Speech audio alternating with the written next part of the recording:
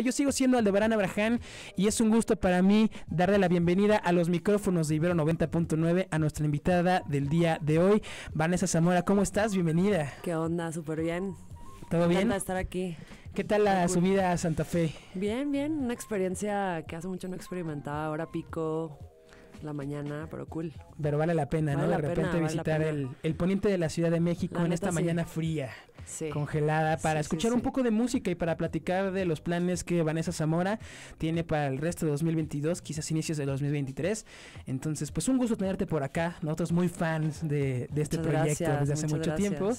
Y pues para, para empezar esta plática musical, me gustaría que nos dijeras, em, tienes nuevo material discográfico que es un poco el pretexto por el que subiste hasta acá, eh, en camino, donde ya tenemos unos cuantos adelantos por ahí. Dama Leona, cuéntanos un poco de esta entrega. Pues sí, Dama Leona es el nombre de mi tercer álbum em, que tiene 11 tracks y Damaleona, o sea, se llama Damaleona porque siento que este álbum como que abraza muchísimas cosas dentro de mí. Y Damaleona es una palabra compuesta, dama como que ante la sociedad, ante el mundo, ser una dama, entre comillas, es como sinónimo de delicadeza, de, emoción, de sumiso, ¿sabes? Como que, o sea, como una dama, pero no, ¿no? Y Leona, pues es como el lado impulsivo, fuerte, poderoso, ¿no? Entonces creo que esas dos, esas dos facetas como que se juntan en una sola palabra y como que de alguna manera abraza como mi alter ego de alguna manera, pero siento que es un alter ego que es muy parte de mí. Entonces este álbum pues eh, digo, tiene 11 tracks, eh, decidí hacerlo en volúmenes, saqué el primer volumen en julio, que incluye dos tracks, Trascender y Contracorriente. Y ahora probablemente en noviembre saque el segundo volumen que tendrá otras dos canciones y como que quise dosificarlo poco a poco. Eh, y el próximo año va a salir el disco completo. A principios del próximo año sale el disco completo. Y pues me tiene súper feliz. Es un disco que estoy súper feliz, como que estoy súper fan de este álbum y me encanta y estoy emocionada de, que salga a la luz. Así que pues poco a poco lo van a ir viendo. Quise dosificarlo como que para yo también disfrutar el proceso de, lanzamiento del álbum. Entonces como que pues súper cool. Está súper bien. Creo que es una idea interesante que ha funcionado mucho también. Yo, no sé, pensando ahorita en Beach House, que Beach House también decidió sacar su último material discográfico como en cuatro volúmenes, como en una idea de cuatro corta duración, cuatro EPs, para después compilarlo en un disco completo. Y eso ayuda mucho a que la gente lo vaya viendo por etapas, ¿no? Que se vaya emocionando más. Entonces, pues interesante que lo hayas decidido sacar a través de volúmenes.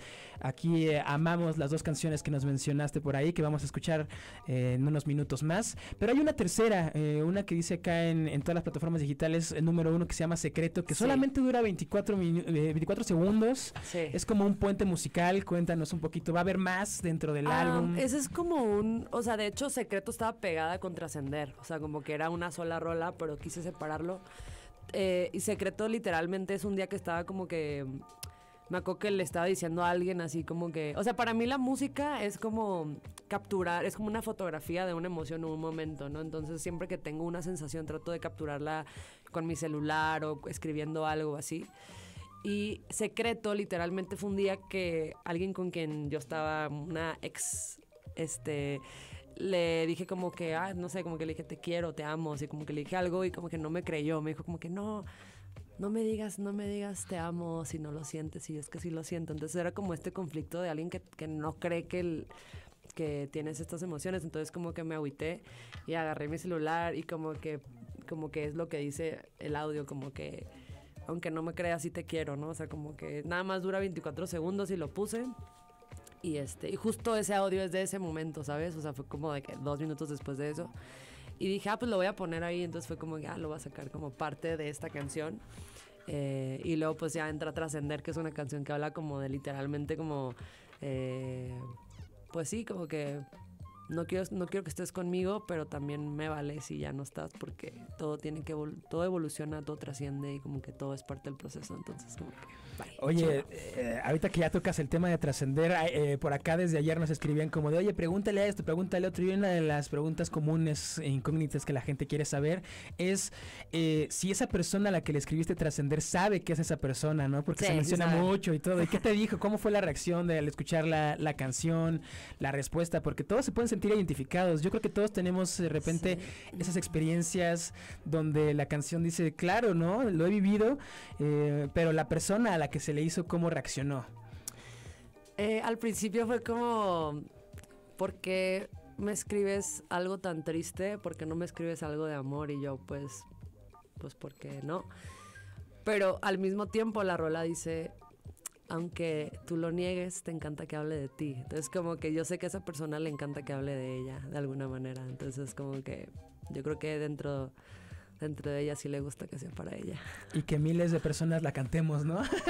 sí, o sea, como que neta esa canción la hice en el 2018. O sea, hace un montón de tiempo y no sé, o sea, estamos en 2022, ¿no? O sea, como que tardó un montón en salir, como que yo ya, yo ya sabía que quería que ese fuera el primer sencillo de este álbum. O sea, como que dije, ya, este, ya tiene un chingo dentro, o sea, en mi, en mi compu, o sea, como que yo quería que esa fuera la primera y también Contracorriente fue hecha para la misma persona, entonces fue como que tienen que salir esas dos canciones, además de que creo que algo que tiene este álbum Damaleona es que cada, o sea, yo lo describo como que son diferentes planetas en un mismo universo. O sea, como que cada canción es un mundo diferente. O sea, neta, no se parecen. Entonces, por eso fue como que trascender y contracorriente siento que son completamente opuestas. Como que una es como toda tranqui y así, es como mucho más, no sé, en, la vibra, ¿sabes? Este, y así siento que el disco es muy bipolar entre canciones. Entonces, eh, pues por eso estoy sacando como que unas, como que dos, dos rolas, pero como que muy diferentes una a, las, a la otra. Y también el segundo volumen viene como que una rola que es muy. Son como dos mundos diferentes. Eh, y quiero que la gente, como que, que, escuche este disco, como que pueda entender como por dónde va. Además de que vivimos ahorita en una época en donde todo es súper rápido, todo se mastica y se escupe y se mastica. ¿Sabes? Como que se digiere y es como que next, next. Entonces, como que quise. Como que para mí todas las rolas de este álbum son sencillos y quiero que, creo que cada canción, más allá de que para mí cada canción que ya salió es como un hijo y lo que quieres es que tu, tus hijos tengan como su momento. Entonces para mí cada canción merece su momento y más allá de hacerlo por estrategia o algo así, como por gusto personal, como que quiero que cada canción tenga su momento y que cada canción sea escuchada, que cada canción sea digerida. Por eso lo quise hacer también así. Eso, pues acá en Libro 99 van a ser escuchadas todos estos sencillos que van a conformar el Dama Leona. Y pues recuperando esta idea, me parece bien interesante lo que mencionas de que cada una, una, cada una de las canciones son como una fotografía, ¿no? Como el, como el, la captura de un momento en específico. Eh, pues para eso es también, ¿no? Para quizás regresar eh, ahorita después de una pandemia, cuántas canciones nos salen que hablan de todo el encierro y lo que vivimos, ¿no? Y que van a estar ahí para contar ese específico momento. Entonces, eso está muy chido y quería preguntarte, ¿todas las canciones son hechas previamente? ¿Hay unas canciones más nuevas? ¿O, cómo fue también la composición de todas las rolas? Si esta dices que es de 2018. Eh. Sí, o sea, yo creo que esta es la más... Eh, de hecho, estas dos que salieron son como las más, las que compuse primero, o sea, como que hace este, desde el 2018, 2018-2019. Y luego unas salieron durante la pandemia, bueno, fue como una, yo creo. Y luego otras posterior a la pandemia, otras salieron durante la grabación del disco, de que en momentos de que tipo iba a grabar tres canciones al estudio y de repente, no sé, todos iban a comer y yo me quedaba en el piano y ahí nació una canción también que viene en el álbum y fue como la quiero meter. Y así, o sea, fue como que antes, durante y después. Eh, de la pandemia salieron las canciones, pero sí, justo, es como para mí... O sea, para mí la, hacer canciones, o sea, sí hablan de cosas que siento, pero también para mí es como capturar esa emoción efímera que a lo mejor sientes algo y no sabes cómo describirlo. Y para mí es como, no, no voy a dejar pasar esta emoción, sino como voy a hablar de, de esto que estoy pensando. Y, y, para mí son mensajes para, para mí misma en un futuro, o son como... Eh, fotos de, mi, de, de, mis etapas. Igual todos mis álbums, todas las portadas de mis álbums son retratos, entonces son autorretratos, entonces como que para mí es como... O sea, no, ni siquiera es como que una foto de cuerpo completo ni nada, o sea, es como solo mi cara y para mí es como también una manera de capturar cómo me veía en ese momento, ¿sabes? O sea, como que como una foto de, de cómo me veía. Entonces, pues sí, o sea, eso para mí es la música. Y, y la neta, estoy súper contenta de este álbum de Amaliona. Es, yo creo que es mi favorito hasta ahora. Entonces, este, pues me encanta, o sea, me, me, encanta. Y ahora en mis shows lo estoy tocando todo en vivo. O sea, toda la gente que vaya a mis shows ahorita lo pueden escuchar en vivo todo completo antes de que salga. Entonces, ah, eso, está... Para mí está bien cool como poder ver, tener esa primera reacción de cómo la gente lo percibe y, y, y cómo la, o sea, como es como algo muy, muy loco, muy chido.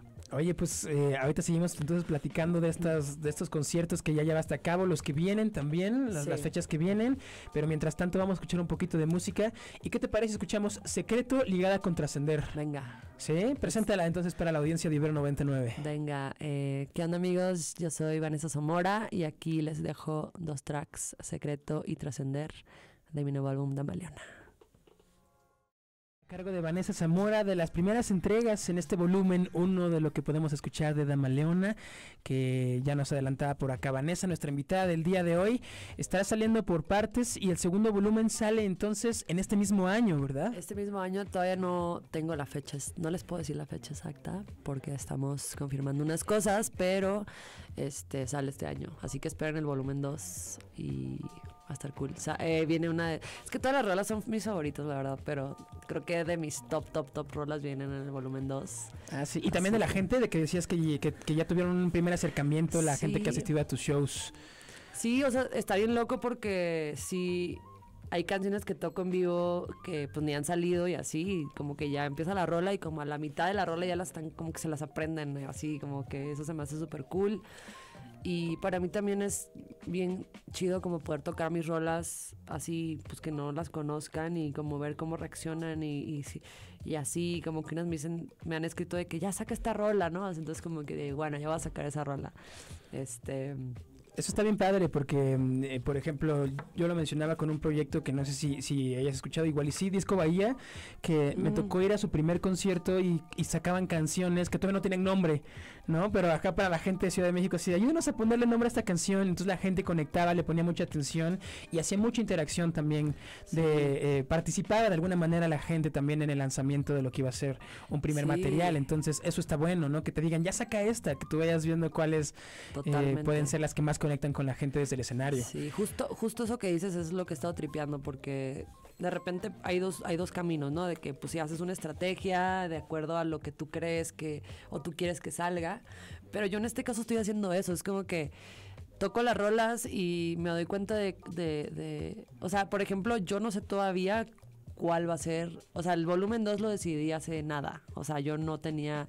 Y ahora el volumen 3 ni siquiera sé qué rolas van a ser el volumen 3 todavía. Pero como que cómo, cómo la gente me va diciendo como esto me gusta, esto, la reacción, como que todo se va construyendo de acuerdo con, con, cómo la gente reacciona o qué me dicen y como que de alguna manera el lanzamiento de este disco se convierte no solo mío, sino como de todos los que escuchan las rolas. Entonces, pues la gente que va a mis shows de alguna manera son los que me van como diciendo y marcando la pauta y como que se, se vuelve como un lanzamiento en conjunto con la gente que me escucha, ¿sabes? Entonces, pues vengan a los shows. Eso, sí, pues a ver, cuéntanos un poco más de los shows. ¿Qué, qué fechas se vienen para este final 2022? Quizás inicio 2023. Pues bueno, esta es la primera parte del La Maleona Tour. Eh, y bueno, el viernes, este viernes vamos a estar en Guadalajara en el C3. Eh, después, el próximo fin de semana, o sea, el 30 de septiembre, vamos a estar en Ciudad Juárez tocando con Reino. Eh, después de eso, vamos a estar en en Pachuca eh, y luego vamos a estar en Querétaro, en Puebla, vamos a estar en el Tecate Comuna también haciendo pues, dos días de Tecate Comuna. en diciembre vamos a estar en el Festival Trópico. Eh, entonces, pues esos son los shows y, eh, y, vamos a estar en California también en, en, diciembre, perdón, en noviembre, en San Diego, en Los Ángeles y en San Francisco. Entonces, pues súper contenta de poder llevar mi música a todos esos lugares. Pues mucha oportunidad también para que conozcan de este material discográfico de Amaleona antes de que se estrene ya en todos lados, en plataformas digitales, en forma. Eh, te mencionaba cuando llegabas, nosotros muy emocionados de verte por ahí en el cartel del Trópico, que es un festival de acá también, pues que le tenemos mucho cariño en Ibero 99, siempre nos invitan, siempre estamos haciendo la transmisión allá y la pasamos muy bien, es una fiesta bien interesante. Bueno, la pasamos, digo, como familia, porque yo nunca he ido. Entonces... Pues este año toca. Este año toca ir y estar ahí. Eh, ¿Cuándo te presentas en el, en el Trópico? El 11 El 11 El último, el- yo voy a ya estar el- el domingo. El cierre. El cierre, el día chill en la playa. Así que va a estar cool. Pero voy a estar ahí desde el 10 también tocando con, con unos amigos que se llaman Los Eclipses. Entonces, este, pues va a estar cool. Va a estar bueno. Va a estar entonces. bueno. Oye, pues muchas gracias por haber venido hasta acá, hasta Ibero 99, para platicarnos de este nuevo material discográfico, para decirnos un poco de cómo fue la creación de estas canciones, de lo que estás haciendo ahora. Siempre eres bienvenida en estos micrófonos, Muchas así gracias. que pues regresa cuando, cuando quieras y también pues que podamos platicar en el, cualquiera de estos conciertos que, que se llevan a cabo donde esté presente ahí la camioneta de 99, que se acerque la gente y, y, pues que siga sonando buena, buena música. Cuéntanos para ir cerrando ya esta plática, esta entrevista y ir terminando también en la emisión del vórtice que ya van a ser las 10 de la mañana. Vamos a romper un poquito las reglas y nos vamos a extender un poquito. Venga. Cuéntanos de Contracorriente. Entonces ya nos platicabas un poquito que era Opuesta a Trascender. Es la otra canción que ya tenemos disponible por ahí de este Dama- Damaleona en su volumen número uno. ¿Qué más nos puedes decir de la canción? Am, ok, entonces, como te decía, Damaleona es como dos cosas. Entonces, siento que el volumen 1 tiene su lado dama, que es contracorriente, y su, dama león, y, su lado leona, que es trascender, ¿no? Entonces, eh, contracorriente es el lado dama, que es como el lado como mucho más vulnerable, como el mucho más sutil, eh, emocional, por así decirlo. Eh, es una canción que habla de básicamente decirle a alguien como que pues nada va a hacer que te deje de, de querer, ¿no? O sea, nada va a quitarme como ese cariño o va a evolucionar ese amor a través del tiempo, ¿no? A lo mejor no va a ser un, amor que esté ahí todo el tiempo, pero de alguna manera siento que si alguna vez quisiste a alguien como que sí formará parte de ti, ¿no? Entonces Contracorriente habla de eso. Me encanta esta canción porque eh, tiene como un toque muy setentero, no sé, como que me, me gusta mucho el piano, me gusta mucho como que entra una batería al final, tiene cuerdas, o sea, como que es una canción muy, muy dama. Eso, pues vamos a escucharla en este momento. Muchísimas gracias, Vanessa, eh, por haber subido hasta Santa Fe y platicar con Un nosotros. placer. Pues estamos al pendiente de los, de los siguientes volúmenes para sonarlos aquí en esta misma frecuencia 99. Buenísimo. Nos lo compartes por ahí y Claro te que vemos sí. también en los en- escenarios que ya nos compartiste eh, hace unos minutos. Principalmente también quizás el Tecate Comuna y eh, por supuesto el Festival Trópico. Felicidades por ese pues por esa participación. Muchas gracias, muchas gracias. Vamos a escuchar esto que es Contracorriente. Gracias por haber sintonizado la misión número 27 del Vórtice. Seguimos por acá acompañándolos hasta las 11 de la mañana. No se vayan, están en Ibero 90.9.